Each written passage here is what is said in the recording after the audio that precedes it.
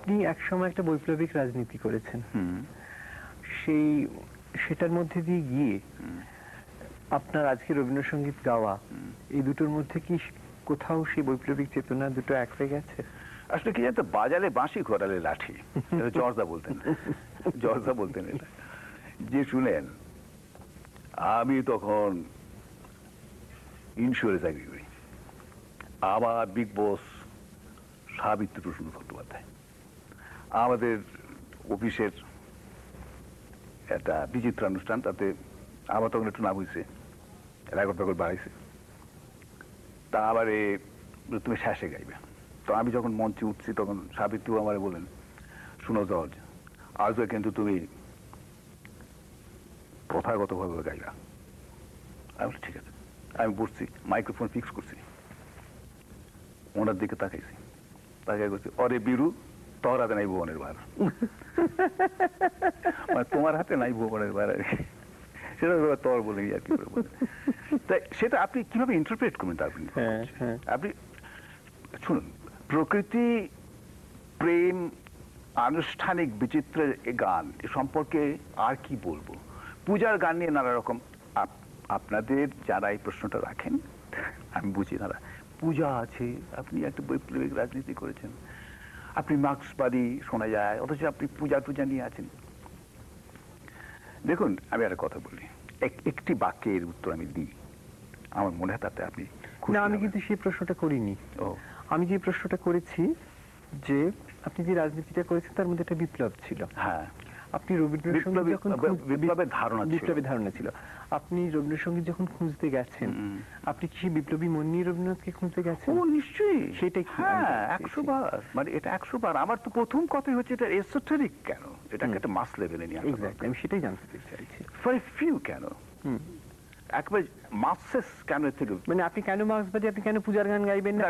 পূজার গান আর প্রেমের গানের তফাৎ কি আমি আজও বুঝতে পারা যায় আমি বুঝি না। অতএব কেন একজন মার্ক্সবাদী প্রেমের গান গাইবেন না? সেটা। সেটা সেই প্রশ্নটাই আমার না। আমার প্রশ্নটা হচ্ছে যে একটা বৈপ্লবিক মন একটা বৈপ্লবিক চেতনা সে যখন একটা মানে রবীন্দ্রনাথ তো প্রায় পাঠ্যপুস্তক হয়ে গেছেন হুম সেই পাঠ্যপুস্তকের মধ্যে নতুন অর্থ খুঁজতে যান তখন তার মধ্যে সেই বৈপ্লবিক মনটা তো ফেলে দিয়ে আসতে পারেন না। আপনি সেই বৈপ্লবিক মন নিয়ে কি করে সেই পাঠ্যপুস্তকের ভেতর থেকে নতুন অর্থ নতুন এইটা খুব দামি রস। বলেছেন হ্যাঁ এটা খুব। আমি যত যত বেশি এটা নিয়ে এগোতে শুরু করলাম তখন দেখলাম এটা ছাড়া আর কোনো উপায় নেই আমার বুঝতে পেরেছি প্রথম আলোর চরণধ্বনি উঠল বেজে যেই। নীড় বিরাগী হৃদয় আমার উধাও হলো সেই। এটা কি রকম জানেন? আমি ফুলেশ্বরের বাড়ি থেকে একটা পারিবারিক গোলমালের ফলে আমার বাবার একটা পার্সিয়াল স্ট্রোক হয়েছিল। আমার মা বাবাকে নিয়ে আমি ভেসে পড়ি। ভোরে পাঁচটা আঠারোর গাড়িতে পাঁশকুড়া লোকালে আমি কলকাতায় প্রথম আসছি। মানে পাকাপাকি চলে আসে। পাকাপাকি চলে আসছি। দেশের বাড়ির ছেলে ছেড়ে উপায় ছিল না। আমাদের সঙ্গে আমার খুব প্রিয় একটা কুকুর, দেশি কুকুর, খুব বড় চেহারা দেশি কুকুর, সে আমাকে তুলে দিতে আসছে। আর আমার এক জাতত বোন, যদিও সে আমার এক অর্থে শরিকি ঝামেলার মধ্যে জাতত দিকে আমার সঙ্গে অসুবিধা ছিল, কিন্তু তবু সে আমাকে বড্ড ভালোবাসতো, সে আমাকে তুলতে এসেছে গাড়িতে ভোর। আবার পিতৃদেব বলছেন শোনো হে মণি, তোমার সেই নির্বিরাগী বিরাগী হৃদয়ে আমার উধাও হলো সেই, ভাবছ তো নাকি? সুতরাং এবার ঋতুপর্ণ, আপনি বলুন যে আমার ওরিয়েন্টেশনের জায়গাটা কি। দেখুন, এই যে মরু বিজয়ের কেতন উড়াও হে শূন্য, হে প্রবল প্রাণ। এটা কি মরু বিজয়ের কেতন উড়াও হে শূন্যে উড়াও উড়াও হে প্রবল প্রাণ। আচ্ছা হে প্রবল আমি অ্যাড্রেস করছি। হে কোমল প্রাণ হে উদার প্রাণ একটা। জায়গা আছে। হুম। হ্যাঁ, হে মোহন প্রাণ একটা জায়গা আছে। তাদের হে এই যে অ্যাড্রেসগুলো তারা কি হচ্ছে? মরু বিজয়ের কেতন উড়াও হে শূন্যে উড়াও উড়াও হে প্রবল প্রাণ। এটাকে রিদম সাইকেলের মধ্যে থেকে বলতে হবে আমাকে। হ্যাঁ। এইটি আমার চর্চা। আচ্ছা। আচ্ছা মৌনি মাটির এই চর এই চর্চাটা এই ডিভিয়েশনটাই কি আপনার বিপ্লব? আমি সেটা আপনি বলতে পারেন আমি নিজে বলতে পারব না। আপনারা যা ভাববেন যা যে যে আখ্যায় ভূষিত করতে চাইবেন করুন। কিন্তু আমি এটা করেছি। যেমন ধরুন মৌনি মাটির মদমের গান কবে উঠিবে ধুনিয়া ধুনিয়া মদ মরু তব রবে। এই যে মেসেজটা আমি তো বলেছিলাম পান্নালাল দাশগুপ্তকে বলেছিলাম যে আপনার তো এত জানাশোনা আছে এটা ইউনাইটেড নেশনসের এটা একটা জাতীয় সংগীত মতো করা অ্যান্থেম করা হচ্ছে না কেন? ডিফরেস্টেশনের এগেনস্টে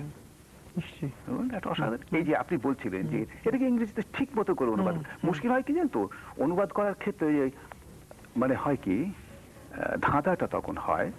যখন দেখা যায় যে ওই যে ওই মানে বাংলায় ইন্টোনেশন তার ইংরেজি ইন্টোনেশন আলাদা তো এই ঝামেলাটা হয়। কিন্তু ওটা দেখলে হবে না আমাকে মেসেজটা প্রয়োজন। হ্যাঁ তাহলে হে প্রবল প্রাণ যেভাবে বলব হে মোহন ও প্রাণ একই নোট হুম? আবার হে উদার ও প্রাণ হে কোমল প্রাণ। তাতে এ- এ- শুধু এইটুকু বিপ্লব পীযুষ কান্তি সরকার করেছেন। তিনি কিন্তু স্বরলিপি কিচ্ছু ভাঙেনি এই যে অপবাদ। আমি বই এনেছি। আমি আপনাকে দেখাতে পারি। আমি একটু বইও এনেছি সঙ্গে করে কারণ জানি এই জিনিসটা আমাকে বলতে হয়। আমি আপনাকে দেখাচ্ছি। আমি জানি না কি বই এনেছি। আচ্ছা আটান্নই এসেছে। তাতে দেখুন আপনি আপনাকে আমি দেখাচ্ছি। আচ্ছা দেখুন। বাদল দিনের প্রথম কদম ফুল ঠিক আছে? উনষাট খুলুন। উনষাট খুলুন। দেরি হয়ে যাচ্ছে না তো আপনার? আচ্ছা আচ্ছা। কি দেখছেন আপনি? তিনটে মাত্রাতে সা সা সা রে রে রে। একে আমি কি করে আলাদা করি বলুন? তাহলে বাদল দিনের। এখনও রে সাস্টেন করছে প্রথম। এখন নেই বাদল দিনের প্রথম। এই আধ মাত্রায় রে সা প্রথম। মো ওটা যা ক একই একই রকম হবে তাহলে বাদল দিনের প্রথম কদম রেপা একটা মাত্রায় বলতে হবে। তাহলে আমি তো কিছু পাল্টাইছি এই যে ফুল দেখুন। ফুল মির আছে। করে এটা এটা অনেক প্রোনাউন্সড এই কোমল গান্ধাটা অনেক রে রে এটা ছোট হবে কোমল দান। এখন বাদল দিনের প্রথম কদম ফুল করেছ দান।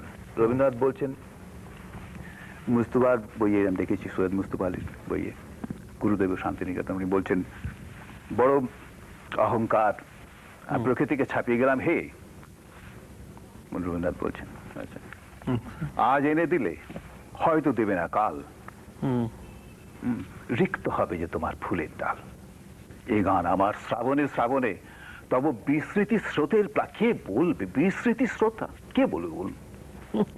বিস্মৃতি স্রোতের প্লাবনে ফিরিয়া ফিরিয়া আসিবে তরণী বহি তব সম্মান।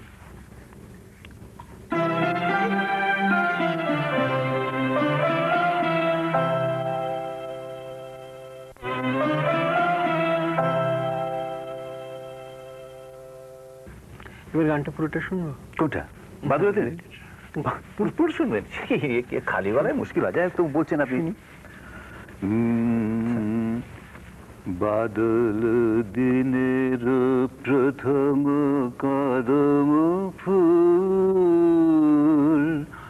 করেছ দান বাদল দিনের প্রথম কদম ফুল করেছ দান আমি দিতে এসেছি। শ্রাবণের গান।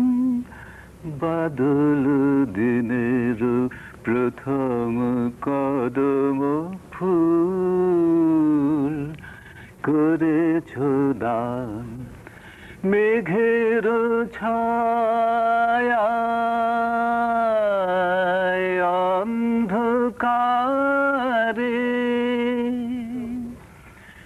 রেখেছি ঢেকে,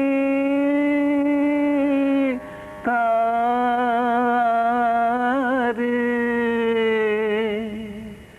এই যে আমার সুরের ক্ষেতের প্রথম সোনার ধান, বাদল দিনের প্রথম কদম ফুল করেছ দান আজ এনে দিলে হয়তো দিবে না কাল। রিক্ত হবে যে তোমার ফুলের ডাল। আজ এনে দিলে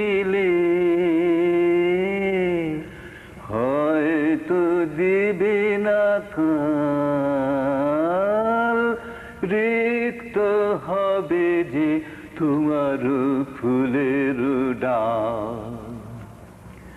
এ গান আমার, শ্রাবণে শ্রাবণে। তব বিস্মৃতি স্রোতের প্লাবনে।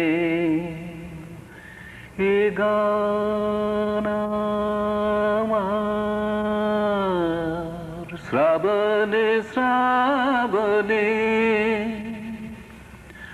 তব বিস্মৃতি স্রোতের প্লাবনে ফিরিয়া ফিরিয়া আসিবে তারণী